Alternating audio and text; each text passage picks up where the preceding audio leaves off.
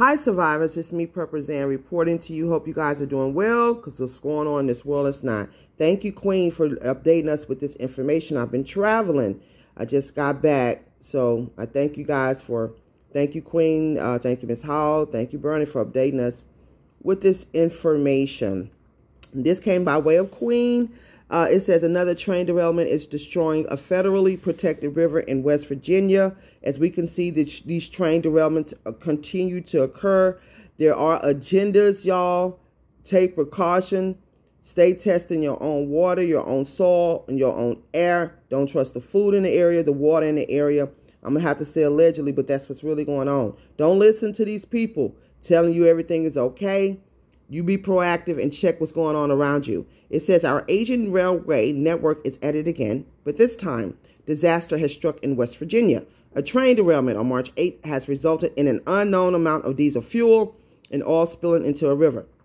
According to the news, that river just happens to be one of the oldest in North America and is part of the National Park Service.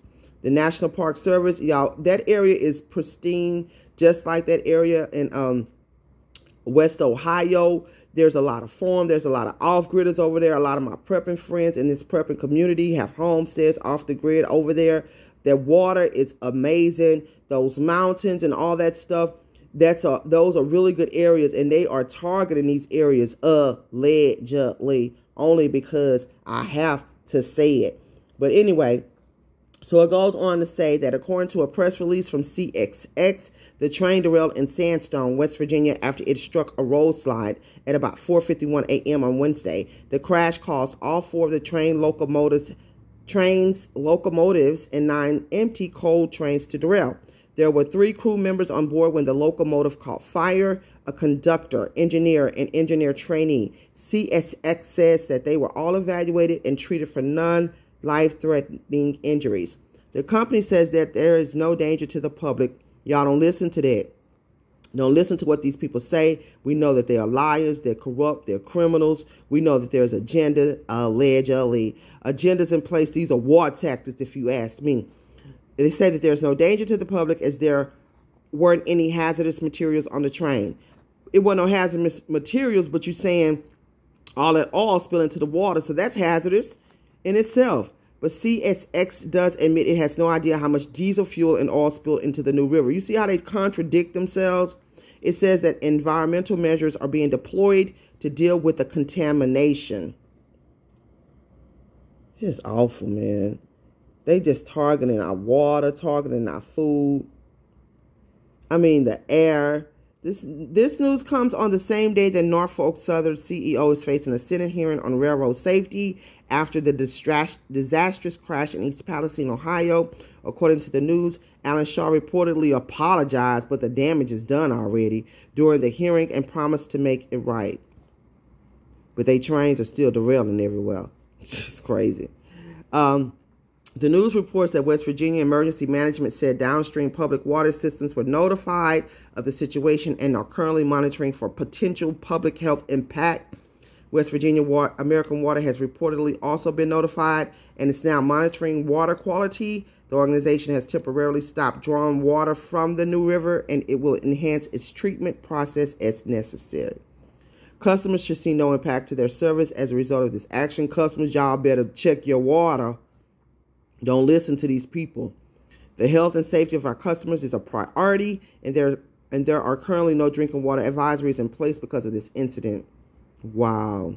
It added that if a drinking water advisory should become necessary, American Water will issue one.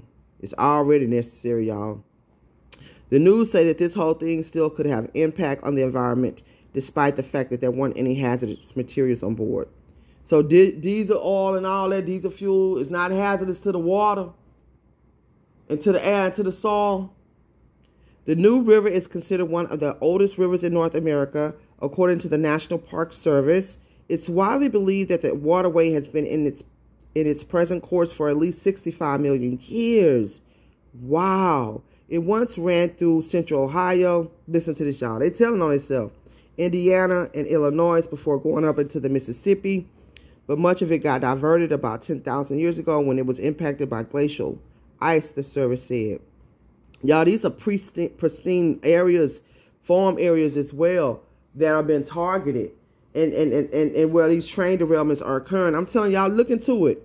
When the empty coal train went off the tracks, video shows some of the cars ended up in or along the bank of the New River. That area is part of the 53 miles of the river that's maintained by the National Park Service within the New River Gorge National Park and Preserve. When oil gets into freshwater bodies, it can cause significant damage depending on the amount involved. But they just said it wasn't a, a problem. Jesus. The outlet says that according to the EPA, oil spills in freshwater bodies can still cause significant damage, even though those sorts of spills aren't covered as widely as ones in saltwater bodies like an ocean. Freshwater bodies are highly sensitive to oil spills and are important to human health and the environment. There is some good news, though, because the New River is a flowway waterway. The impact will apparently be less severe than if the diesel and oil flow into standing water. It doesn't matter. It, it's affecting the area anyway. Since the water is moving, the contaminants don't have the chance to clean to plants. These people just lie. That means it is less likely to contaminate the animals that eat those e-plants. Wow.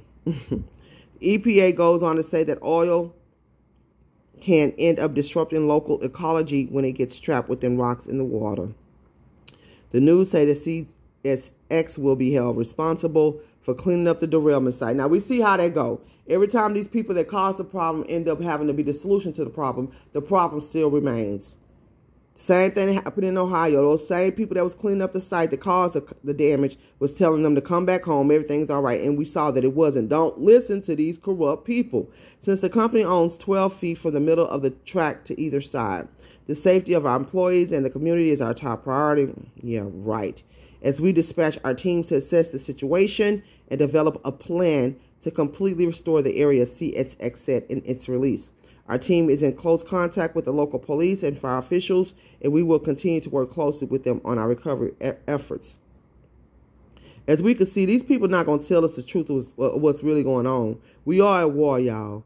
This going to continue hap continuously happen like it's happening now. And I have to say allegedly, and I have to say God forbid, because we don't need this. We don't need these types of catastrophes affecting the water and the environment. But that's what's really going on, y'all. And if people can't see what's going on, that we are at war, these are tactics of war. It's just, you know, I don't know, man. We have to really be careful, man, because the water, y'all, you need to check, check, check and test your own water. I was seeing some of the public water in these areas I was going into, y'all. It had like, it looked like it just acidy, and it looked like it was so polluted. And I always look at the water and test the water. I don't drink it. I don't put it in my eyes. I don't brush my teeth with it bathe in it, none of that. You know what I'm saying? But I look at it and um, I don't use it.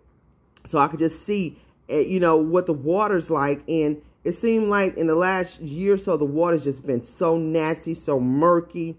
So, you know, it just seemed like it has like all kinds of stuff in it. Y'all check your water. Don't, don't, don't, don't listen to these people. Check your soil, check your air. Y'all, we are in a lot of trouble and we have to continuously prep, prepare ourselves, pray, Pray all day and stay out the way. Watch this world, watch the weather, smell your water, boil and purify your water before you use it. Please follow me on Patreon for real, raw, uncut, unfiltered content.